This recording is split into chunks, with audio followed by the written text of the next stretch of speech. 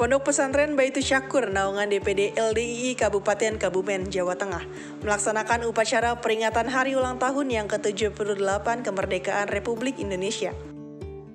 Acara tersebut berlangsung pada Kamis 17 Agustus 2023 yang dipimpin Inspektur Upacara yang juga menjabat sebagai Ketua DPD LDII Kabupaten Kabumen, Gunardi.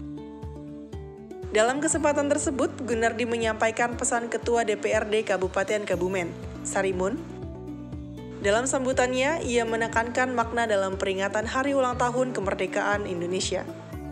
Bentuk upacara ini sebagai mengisi perjuangan sebagai bukti nyata bahwa kita melaksanakan upacara Hari Ulang Tahun ke-78 merupakan tradisi yang setiap tahun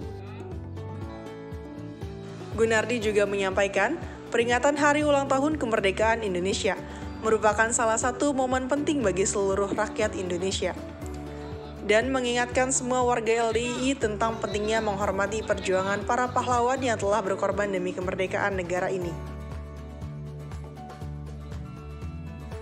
Melalui upacara ini, pengurus Pondok Pesantren Baitu Syakur mengingatkan, persatuan dan kesatuan serta cinta tanah air harus hadir dalam setiap pribadi santri.